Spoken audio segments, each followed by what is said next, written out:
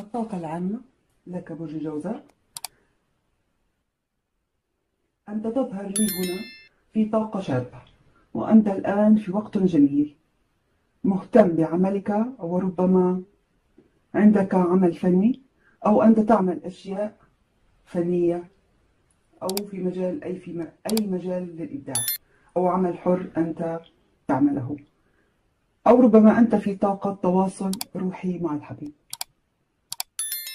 أنت ترى الحبيب متباعد لا يظهر مشاعره لا يظهر مشاعره نحوك وهو مهتم بعمله ولكن تعلم تماما بأنه يحبك ويراقبك ولكن آه، يظهر بأنه خائف من شيء ما ولا يريد أن يخطئ مرة أخرى. هذا هو برج العذراء. آه، نعم إنه متباعد. ولكن متواصل معك في الروح يظهر بأنه غاضب منك أو قاطع معك الكلام وهو الآن يفكر بما حدث ويحاسب نفسه على كل ما حصل. هو في تواصل روحي وحساب مع النفس. ربما قد سافر أو غير بيته أو مكان عمله أو أنه قرر الخروج من هذه العلاقة. هناك تغييرات كبيرة آه، جذرية آه، حصلت معه واضطر إلى أن يترك هذه العلاقة آه، معك ويرحل بصمت. هذا هو الطاقة العامة. أما طاقة هذه القراءة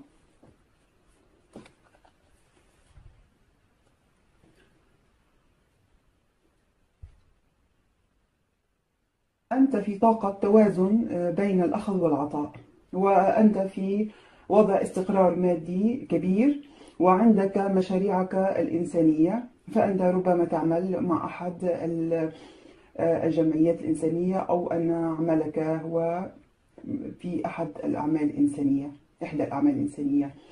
وترى أنك آه، ما زلت مسيطر على نفسك ومشاعرك تجاه هذه العلاقة فكما يظهر لي بأنك آه، مهتم بنفسك وهو آه، هذا الشخص هو قرر الابتعاد.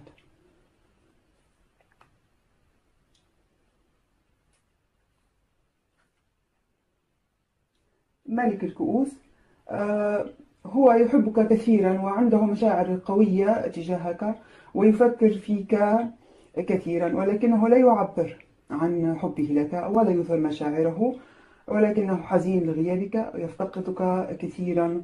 فهو شخص يحبك لذاتك حب غير مشروط ليس من أجل أي شيء آخر. أنت تشعر آه، بأنه متباعد ولا يظهر أي مشاعر لك آه، وبأنه يتعامل معك إذا كنتما منقطعين عن الكلام يتعامل معك بشكل رسمي وبارد. إذا لم تكن لا إذا لم تكونا منقطعين عن الكلام فهو يتعامل معك بشكل رسمي وبارد. واحتمال بأنه متباعد كليا عنك. وتشعر أيضا بأنه غاضب منك لدرجة كبيرة ولا يريد الكلام معك.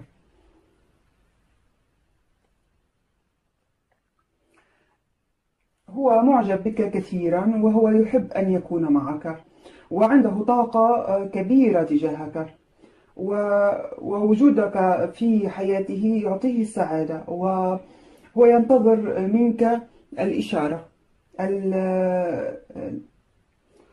لكي يبدأ معك بالكلام أو يعود إليك إذا كنتما في خصام أو منفصلين. فهو يراقبك ولا يظهر آه، أنه مهتم. آه، نواياه نوايا هذا الحبيب هو يريد أن يخرجك من قسوة القلب ومن الغضب الذي أنت فيه.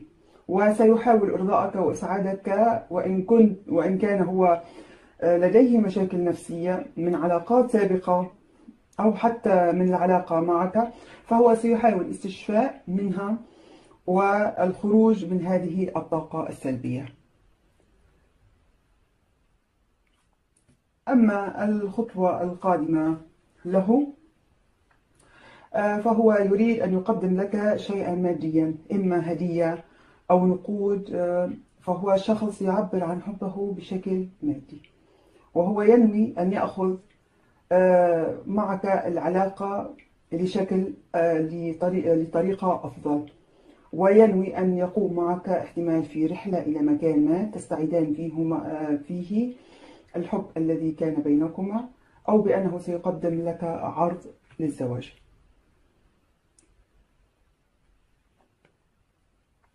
ربما سيقدم لك عرض الزواج ولكن أنا أرى بأن هذه العلاقة آه، أن مصير هذه العلاقة بأن الحبيب أرى أن الحبيب منهمك في أعمال كثيرة تأخذ الكثير من وقته ربما عمله مع أشخاص كثيرين وعلى الإنترنت وهو كثير السفر والعمل ويمكن أن يكون مختلف عنك بالجنسية بالبلد بالديانة بأي شيء. وعنده عمله الخاص وهو شخص معروف هو ناجح في بلده. ولكن أراه بأنه لا يريد أن يرتبط ارتباطا جدي بأحد. فهو كما قلت مشغول جدا ولا يريد أن يظلمك معه بارتباط جدي. فهو آه، يحبك كثيرا كما قلت. ولا ولا وربما تباعد عنك قصدا لكن